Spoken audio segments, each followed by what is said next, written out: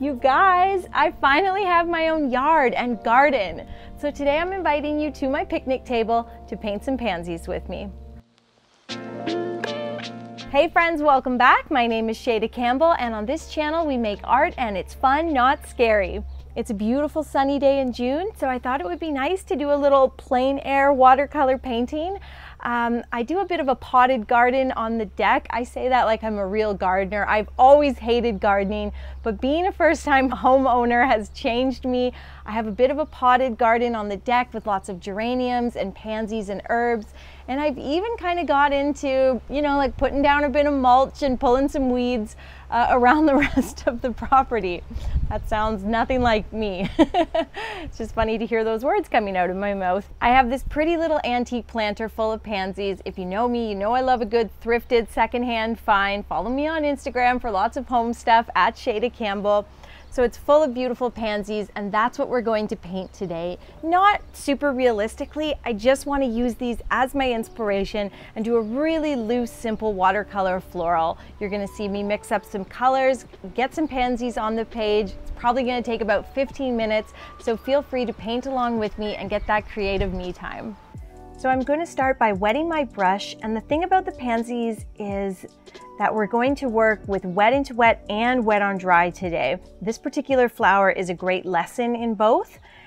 And for wet into wet, you really want to have all your colors mixed up ahead of time so that everything is right there at your fingertips ready to go.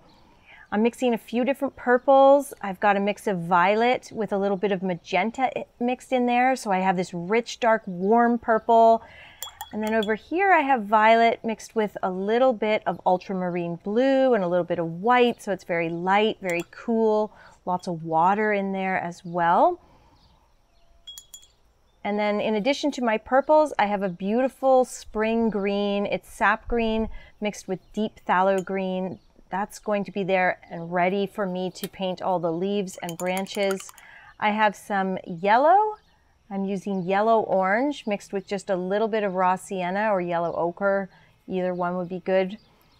And then finally, I have even a little bit of violet mixed with black so that I have like this super dark purple. And we're going to start by painting these pansies really loose, really free and fun and thinking about wet into wet. I'm working in my favorite watercolor sketchbook today. And remember, all of the supplies are linked in the video description. Also, if all of this wet into wet, wet on dry color mixing is like, whoa, whoa, slow down, I do have a beginner level e-course and that is available on my website. It's a really good price if I do say so myself and uh, shaydacampbell.com. You'll find it there. So let's begin with some pansies. Here's how I paint them. Run that brush across the page, one smooth motion. There's one petal.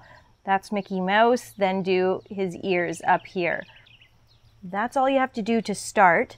And then think of painting a bunch of those in a cluster, but they're not all going to be the exact same size or shape. They're not all going to be on the same angle. Some of them might be blowing in the wind. Some of them might be torn or facing away from the viewer. And then remember, everything dries quickly when you're working outside. E even when you're working inside, things can dry quicker than you might expect. So I want to while this is lightly wet, not puddle wet, but lightly wet, I want to release a little of that darker color. Just think of doing a little V shape, a couple little lines. We don't have to do all of them either. Sometimes you get too much movement of your pigment. Another thing I want to do is make sure that I blend some of my green with that purple so that I get, you know, that little burst and blend of color. I don't need to do it for all of them, but I want to make sure that I achieve that nice loose watercolor look. Let's add some more pansies in here. I also want to have the pansies sort of touching each other so that they get that beautiful blend of purple and bluey and everything just looks really loose and summery. I want to take a second to thank Native for sponsoring today's video. When it comes to my deodorant, there's two things I want, clean ingredients and a fresh scent that doesn't like overpower. Native deodorants are vegan and cruelty free and they're also aluminum and paraben free. And they use clean, simple, effective ingredients that you actually know of like shea butter and coconut oil. The texture is also really nice. It's not sticky and it feels dry when you're applying it. When it comes to shopping native deodorants, choosing your scent is the best part because all the scents are good. I got jasmine and cedar. It smells so green, just like this wonderful clean forest. and then I also got sea salt and cedar, which smells like like the ocean. And I of course got um, unscented because I love an unscented product across the board. I think best of all, Native also offers a plastic-free version of their deodorant using the same formula, but with more sustainable packaging. It's earth-friendly, 100% plastic-free, and that matters to me because I try my best not to have a lot of plastics in our home. Native also has amazing body washes and lotions, so use my link and code SHAYDA3 to get 20% off your entire first purchase at Native. This offer is available site-wide, but only for a limited time time, so stock up and save.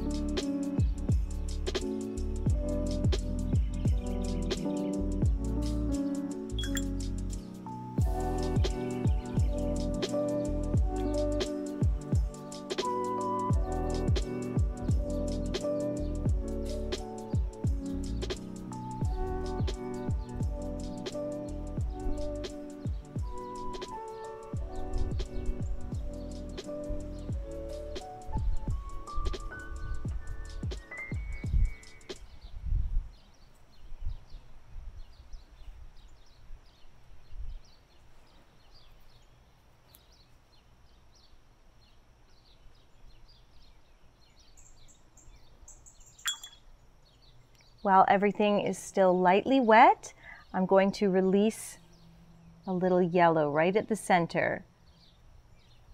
A large part of watercolor painting is timing. If you do this too soon, that yellow is just going to take over and make a huge mess do it too late and the yellow, it's not going to look bad. It will just sit right on top and you won't get that same sort of uh, movement. That's not necessarily the worst case scenario. Certainly not here. This one's probably quite dry. So the yellow is just kind of on top and that's okay. I'm not mad at that. But I do like that kind of softening that I get over here. And you can always use a damp brush to move it and blend as well, kind of see what you come up with. I'll place one last pansy in here and then I'm going to take that super dark purple. You can mix purple with indigo or black and we're going to add some coloring to these flowers. As I said in the beginning, this is a super loose painting, not overly realistic, but adding this color, it just brings these flowers to life and they are immediately recognizable. You can do this a little bit with wet into wet and then adding it at this point uh, with a wet on dry technique, which is just where we're adding that wet paint over top of the dry pigment, the flowers, it gives you all of the precision in the world. So your brush strokes are not going to move or bleed, and you can make these tiny, thin little lines, or you can just put down like a dark purple splotch or even a black splotch and uh, just see what happens. I'm not approaching all of them the exact same way. Some I just do a few lines, some others a little splotch, but I am adding the darker pigment to all of them.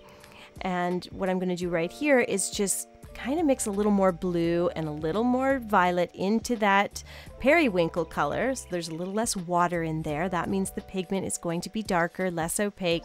And I'll take that dark bluish color and we'll add some more little lines and splotches on the um, light sort of periwinkle colored pansies that I've got here.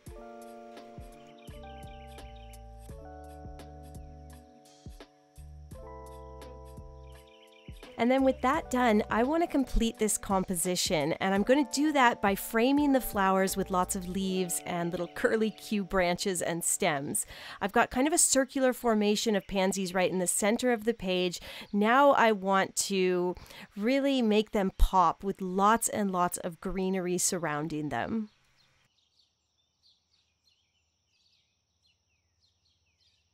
I really love painting the pansy stems and leaves. They just make great brushwork practice and they're a lot of fun. So you're gonna take a good amount of green in that round brush. I'm using a number six. And you can just use the very tip of that brush to paint this almost grass-like branch and then run that belly of the brush across the page in a few smooth motions and get that really natural little shaggy leaf.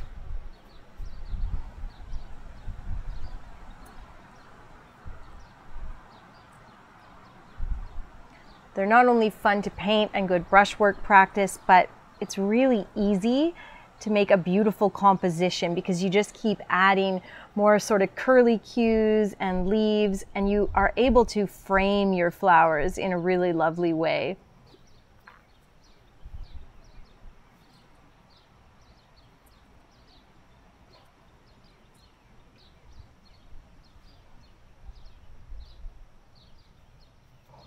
In between some of these flowers, it's sometimes nice just to do like a little bit of a messy green splotch like that. Sort of like a leaf is there, but you don't have to paint the whole thing.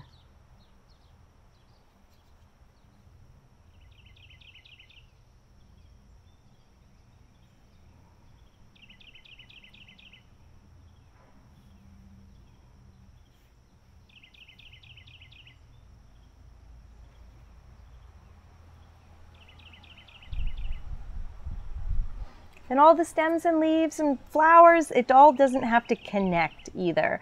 I leave a lot of negative space in my watercolor paintings, my loose watercolor florals in particular, and, and I just love the way that negative space looks.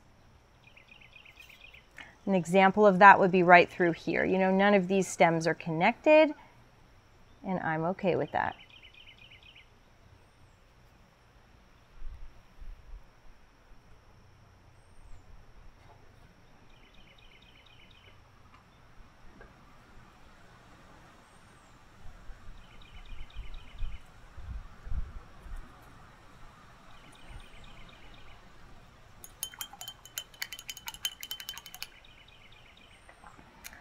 Let's see, I need a little bit more color on this guy here. Forgot about you. Let's do a little wet on dry and just get those tiny little lines. You can also do some thin little lines sort of on the edges of some of the petals, just to show some shading. Remember, we're just doing a nice, easy breezy outdoor painting, so don't get too carried away with with fine details, but I, I do think that looks kind of pretty. Going to mix a little indigo into this dark purpley blend and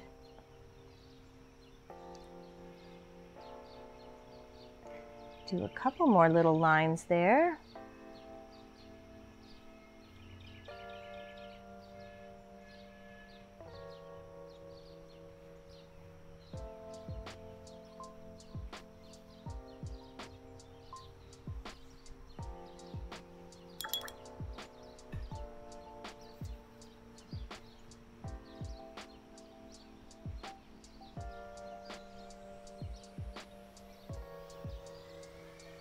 I am just having so much fun with this painting and I would love to do more outdoor content. So let me know what other flowers would you like to see at the picnic table?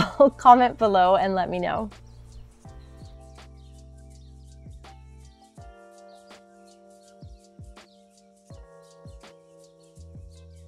I added one last little flower to the composition there. After all the stems and leaves are in, you might add a few more small uh, purple pansies. And then I rinsed my brush, picked up a bit of dark yellow, and just added a little of that yellow to the center of some of the flowers, some that were a little washed out. And then I had a thought, and this is why I love loose watercolor flowers. I'd just like to add some yellow brushstrokes. And I did, and I think it really works with the whimsy of this composition. It doesn't always have to make sense with this style of painting, and I love that.